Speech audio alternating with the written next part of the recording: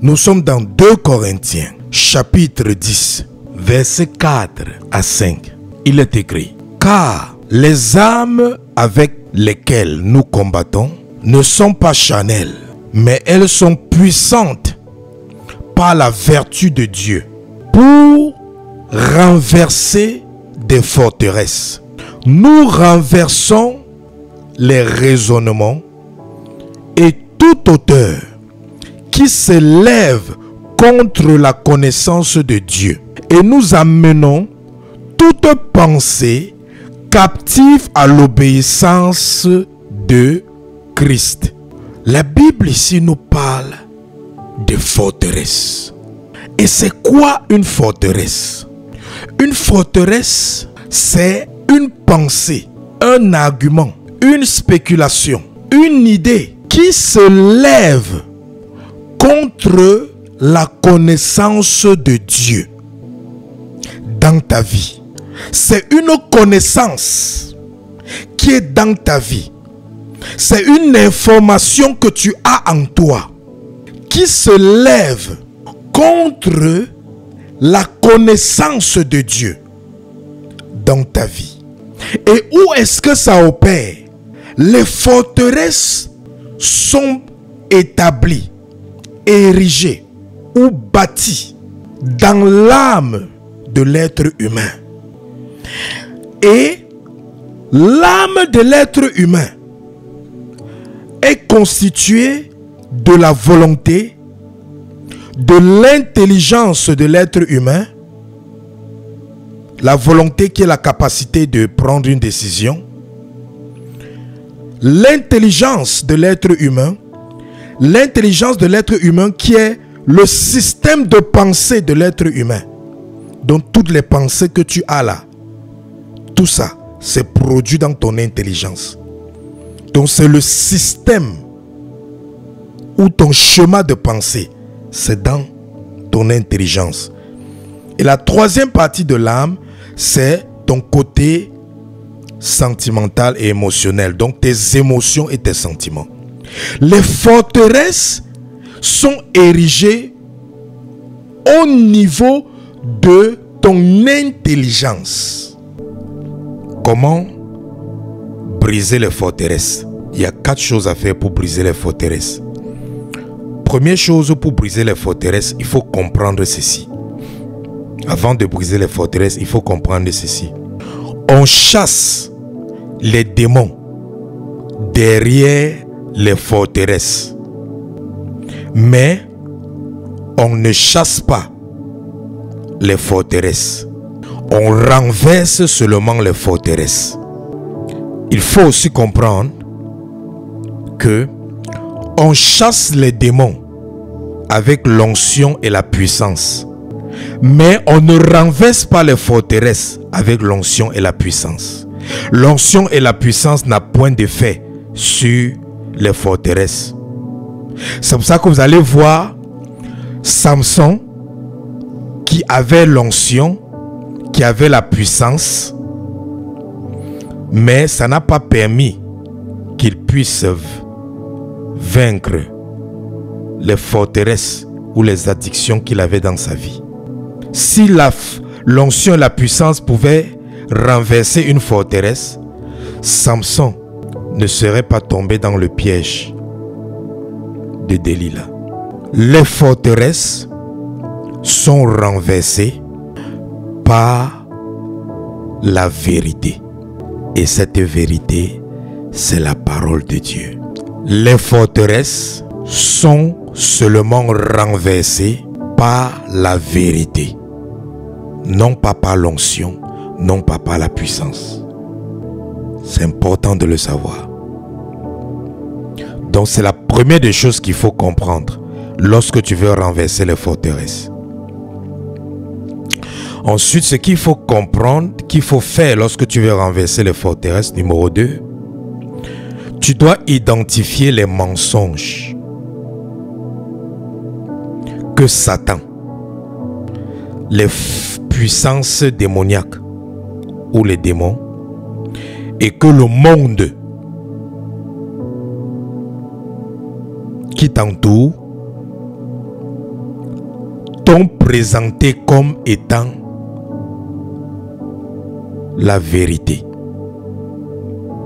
Et là, Dieu sera là au travers du Saint-Esprit pour t'aider à identifier les mensonges. Et depuis hier jusqu'à aujourd'hui, on a déjà parlé de plusieurs différents mensonges que nous avons dans notre intelligence. Et nous avons dit que le mensonge, c'est tout ce qui est contraire à la parole de Dieu est un mensonge. Tout ce qui est contraire à la parole de Dieu est un mensonge. Même la maladie dans la vie d'un chrétien est un mensonge. Oui, tu es malade, tu sens la maladie, la maladie te fait du mal, mais la maladie est un mensonge dans ta vie. Pourquoi? Parce qu'il est écrit dans la parole de Dieu que par les meurtrissures de Jésus, nous avons été guéris de toutes sortes de maladies. Donc selon la vérité de Dieu, nous sommes guéris déjà de toutes sortes de maladies. Donc lorsqu'il y a la maladie dans notre vie, c'est un mensonge. Par conséquent, on doit maintenant utiliser la vérité pour renverser la forteresse de ce mensonge et pour que maintenant la vérité là devienne la réalité dans notre vie. C'est pour ça que quand je suis malade, je rappelle à la maladie que toi, maladie qui est dans mon corps, tu es illégal. Parce que je ne suis pas supposé être malade, parce que je suis en Christ et Christ est en moi. Et si Jésus est en moi, Jésus n'est jamais tombé malade, alors je ne dois pas tomber malade. Et il est écrit que j'ai été guéri de toutes sortes de maladies par les meurtrissures de Jésus. Donc toi, maladie qui est dans mon corps, tu n'as pas le droit légal. Donc tu es illégal. Donc je t'ordonne de sortir de mon corps. Quand je parle de cette manière à cette maladie, je suis en train de parler à la contrefaçon de la vérité qui est dans mon intelligence, qui est en train de dire que je suis malade parce que j'ai mal. Donc, on renverse les forteresses lorsqu'on utilise la vérité qui va contre le mensonge. La vérité est utilisée pour annuler la contrefaçon de la vérité qui se trouve dans l'intelligence. Et la Bible maintenant, la parole de Dieu, c'est ça qui nous permet maintenant de distinguer entre la contrefaçon de la vérité et la vérité. C'est la parole de Dieu maintenant qui te permet de tester ce qui est dans ton intelligence, si c'est la vérité ou pas. C'est la parole de Dieu maintenant qui te permet de discerner si ce que tu penses là, c'est la vérité ou pas. C'est la parole de Dieu. C'est la parole de Dieu qui te permet de connaître les différentes forteresses qu'il y a dans ta vie. C'est pour ça qu'il est important pour chaque enfant de Dieu de connaître la parole de Dieu. C'est pour ça qu'il est important pour chaque enfant de Dieu de lire la Bible. Parce que quand tu lis la parole de Dieu, tu connaîtras la vérité. Et tu seras capable de contrecarrer le mensonge de Satan ou la logique humaine ou le mensonge du monde. Parce que le monde nous manque beaucoup. La médecine nous manque beaucoup. La science nous manque beaucoup, bien aimé. La science nous manque beaucoup. Combien de personnes la science a dit qu'elle ne pouvait plus accoucher? Combien de personnes la science a dit qu'elle ne pouvait plus donner naissance? Combien de personnes la science a dit qu'elles étaient stériles? Mais lorsque la vérité est venue, qui dit qu'il n'y aura point de stérile en Israël, Lorsque la vérité qui est écrite dans la parole de Dieu a dit qu'il n'y aura point de stérile en Israël, celle qui avait été confirmé, diagnostiqué, stérile par la science et le corps médical se retrouvent en train d'accoucher. Plus que même celles qui n'ont jamais été diagnostiquées stériles. Pourquoi? Parce que elle a permis à la vérité de renverser la forteresse de la science et de la médecine. Je ne dis pas que la médecine n'est pas bien. Je ne dis pas que la science n'est pas bien. Mais quand tu es un enfant de Dieu, la vérité par rapport à ta vie, c'est ce que la parole de Dieu dit et non pas ce que la science dit et non pas ce que le corps médical dit. Si tu te limites seulement à renverser les forteresses en priant que euh, je renverse les forteresses de ceci au nom de Jésus, je renverse les forteresses de ceci au nom de Jésus, je renverse les forteresses de ceci au nom de Jésus, je renverse les forteresses de... comme si tu étais en train de chasser des démons. C'est différent lorsque tu crois. Lorsque tu reçois la parole de Dieu comme une révélation, tu crois en cela, tu te tiens sur cela et tu parles maintenant à la contre-vérité qui est dans ton intelligence, qui veut t'amener à avoir peur, qui veut t'amener à douter, qui veut t'amener à être dans la panique. Ah oui, bien aimé. Parce que beaucoup de gens meurent autour de nous à cause de les forteresses, les forteresses de la logique humaine. Parce que quelqu'un qui connaît la vérité ou qui a la vérité dans sa tête, dès que quelqu'un tombe, dès que quelqu'un tombe, le premier réflexe qu'il aura, c'est que au nom de Jésus, reviens à la vie. Au nom de Jésus, reviens à la vie. Ça, c'est le réflexe de quelqu'un qui n'a pas la forteresse de la logique en ce qui concerne la mort. Il va d'abord tenter avant que si ça ne marche pas, il va laisser. Mais vous voyez des gens que dès que quelqu'un tombe, il meurt, on est seulement en train de, on est de dire que oh, c'est fini, il faut l'amener à la morgue. Ouais, vraiment, il est mort. Hein. Oh, vraiment. Oh, il faut l'amener à la morgue. Oh, pardon, appeler, appeler les docteurs. Machin. Non, non, non, non, non. C'est parce que tu as la forteresse de la logique humaine. Tu as la forteresse de la science humaine. Tu as la forteresse de la médecine. C'est pour ça que lorsque quelqu'un tombe raide mort, au lieu de dire au nom de Jésus, j'appelle ton âme de rentrer dans ton corps. Combien de personnes sont tombées, elles sont mortes et elles se sont vues comment? Leur, elles sortaient déjà, leur esprit sortait déjà de leur corps. Et quelqu'un qui était à côté a dit, je commande à ton âme de rentrer dans ce corps. Au nom de Jésus, je commence, j'arrête ton esprit, je remets ton esprit dans le corps. Et la personne recommence à respirer. Pourquoi? Parce que cette personne n'a plus la forteresse, n'a plus la forteresse de la logique, de la médecine, de la logique de la science dans sa tête. Comme j'ai dit, la science n'est pas mauvaise, ça nous fait du bien. Euh, la, médecine n'est pas mauvaise, ça nous fait du bien. Mais ne sois pas limité à cela. Ne laisse pas Satan faire de ça une forteresse dans ton intelligence.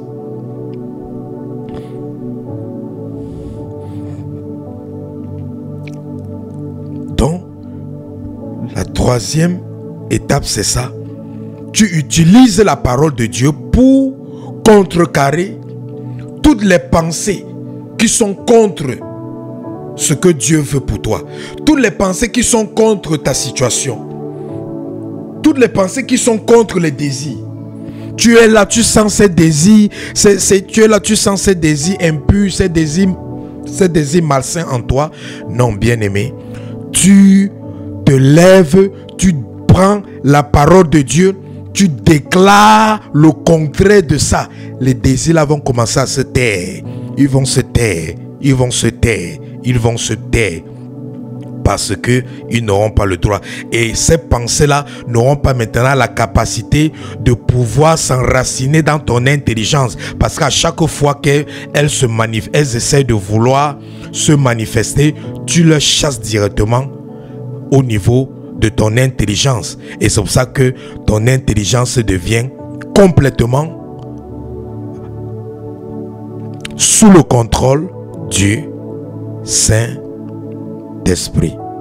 Maintenant, la quatrième chose à faire, qui, la quatrième chose à faire, tu dois amener tes pensées.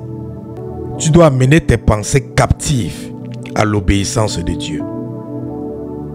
Nous l'avons lu dans 2 Corinthiens.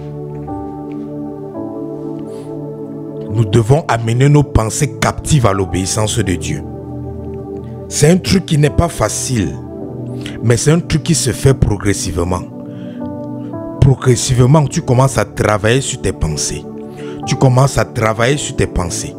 Tu commences à arrêter les pensées, à capturer tes pensées. Et comment est-ce que tu captures tes pensées? Tu captures tes pensées pour questionner tes pensées. Peut-être tu constates que euh, il y a peut-être quelqu'un que tu... Quand tu vois une personne, il y a peut-être quelqu'un qu'à chaque fois que quand tu le vois, il t'énerve. Qu'est-ce que tu fais? Capture cette pensée-là. Et tu commences à questionner cette pensée-là. Tu commences à te poser la question, mais pourquoi à chaque fois que je vois l'homme là, il m'énerve alors qu'il ne m'a rien fait? Pourquoi chaque fois que je le vois, il m'énerve alors qu'il ne m'a rien fait? Pourquoi? Il ne m'a rien fait. Mais à chaque fois que je le vois, il m'énerve seulement. Quand tu fais comme ça, là, tu commences à questionner tes pensées. Et là, tu comprends que non, la pensée là, c'est une pensée mal intentionnée. Et c'est là que tu commandes à cette pensée-là très vite. Tu amènes cette pensée-là captive à l'obéissance de Christ. Donc cette pensée-là maintenant est obligée maintenant de penser positivement par rapport à cette personne. Et maintenant, prochainement, quand tu verras cette personne, tu vas voir que tu ne vas plus elle ne va plus t'énerver. Elle va plutôt te plaire. C'est comme ça que tu captures. Tu arrives à capturer tes pensées. C'est comme ça que tu arrives à capturer tes pensées et tu les questionnes. Et quand tu captures tes pensées maintenant, tu questionnes tes pensées, tu testes tes pensées. Si tu vois qu'il n'y a pas de fondement pour ces pensées, maintenant tu soumets ces pensées à l'obéissance de Christ. Hein? Souvent, tu dois te, tu, dois t'asseoir, tu captures certaines pensées. Hein? Hein? Pourquoi je pense que je ne peux pas réussir ici dans ce domaine-là? Il y a souvent des domaines que tu, tu, tu dis que tu ne peux pas réussir. Pose-toi la question que, mais attends, pourquoi je pense que je ne peux pas réussir ici? Qu'est-ce qui me fait même dire que je ne peux pas réussir ici? Pourquoi? Parce que les gens, les gens disent que je n'ai pas la compétence. Mais si j'ai la détermination, je peux aussi réussir. Donc quand tu questionnes tes pensées comme ça là, tu es en train de capturer tes pensées et tu les amènes à l'obéissance de Christ. Après tu dis que non, je peux aussi réussir. Je peux aussi réussir. Si tu es noir, il y a certains domaines qu'on va dire que non, non, non. Il y a trop de racisme dans ce domaine-là. Quand tu es noir, quand tu vas là-bas, là, non, tu ne peux pas t'en sortir. Ça devient quoi? Ça devient dans ton intelligence une forteresse. Mais si tu captures cette pensée-là, tu questionnes maintenant cette pensée-là, que mais, attends, pourquoi je ne peux pas aussi aller réussir dans ce domaine-là? Ce sont les êtres humains qui réussissent là-bas. Est-ce que la couleur de la peau est un facteur? On va te dire que non, tu connais le racisme qu'il y a là-bas, tu ne peux pas t'en sortir, ils ne vont pas te laisser réussir là-bas, ils vont te faire le coup bas. Non, non, non, non. Si toi maintenant, tu, tu soumets cette pensée-là à l'obéissance de Christ, qui est que je vais réussir où je décide de réussir parce que Jésus-Christ qui est en moi peut tout. Je puis tout par Christ qui est en moi. Tu vas maintenant dans ce domaine-là où aucun noir ne réussit et tu réussis. C'est pour ça qu'on disait qu'en Amérique, aucun président ne peut être noir. Mais le président Obama a dit que quoi? Aucun président ne peut être noir. Ça, c'est pour vous là-bas. On dit que non, les gens ont tenté. Parce qu'avant Obama, il y a eu plusieurs candidats aux élections présidentielles des États-Unis qui étaient des Africains, mais qui ne sont jamais passés. On a dit ça à Obama, on l'a découragé n'importe comment. Obama a dit non, moi je serai président. I can't. Son slogan, c'était que je peux. C'était ça son slogan. I can't. I can. Je peux. Quand il finissait ses discours, il disait je peux. Je peux. Je peux. Je peux. Et il disait aux gens qui le suivaient, nous pouvons ensemble, nous pouvons ensemble. Voilà tout son discours tournait autour de ce slogan. We can, together we can. Together we can. Ensemble nous pouvons. Ensemble nous pouvons. Et c'est comme ça qu'il est devenu président. Il a brisé les protocoles. Il a brisé les protocoles. Il a brisé les limitations. Et toi qui m'écoutes aujourd'hui, tu peux faire de même. Tu peux faire de même en capturant les pensées. En capturant les pensées. Hein? Pourquoi je pense que je ne peux pas être millionnaire? Hein? Toi-même, pose-toi la question. Pourquoi les autres peuvent être millionnaires Toi, tu ne peux pas être millionnaire? Donc, toi, tu es né. Ah, oh, ok, il y a des gens qui vont te faire dire qui vont te faire quoi que non. Toi, eux, ils sont nés pour être millionnaires. C'est pour ça qu'ils sont millionnaires. Tout le monde n'est pas né pour être millionnaire. Si quelqu'un te dit ça, dit que moi, je ne fais pas partie de ceux qui ne sont pas nés pour être millionnaires. Moi, je fais partie de ceux qui sont nés pour être millionnaires. Je fais même partie de ceux qui sont nés pour être milliardaires. Oui. Parce qu'aucun serviteur de Dieu dans la Bible n'était pauvre. Aucun patriarche dans la Bible n'était pauvre. Ils étaient tous prospères. Donc tu dois capturer tes pensées. Hein? Hein? Pourquoi j'ai peur? Pourquoi j'ai même peur comme ça? Pourquoi j'ai peur de ce défi-là? Attends, qu'est-ce qui me fait m'avoir peur de ce défi-là? Non, tu, tu, tu captures cette pensée. Maintenant, tu soumets ça à l'obéissance de Christ. La parole de Dieu dit que quoi? Je ne vous ai pas donné un esprit de peur. Je ne vous ai pas donné un esprit de peur. Avec déjà cette parole-là, tu as déjà soumis cette pensée-là que tu as capturée, qui était en toi. Tu as déjà soumis ça à l'obéissance de Christ. Maintenant, cette pensée de la peur-là, ça devient maintenant le courage. Voilà comment on opère. Voilà comment on opère pour travailler. Voilà comment on opère pour renverser les forteresses. Alléluia. Il y a encore à dire, mais bon, je pense que je vais m'arrêter là.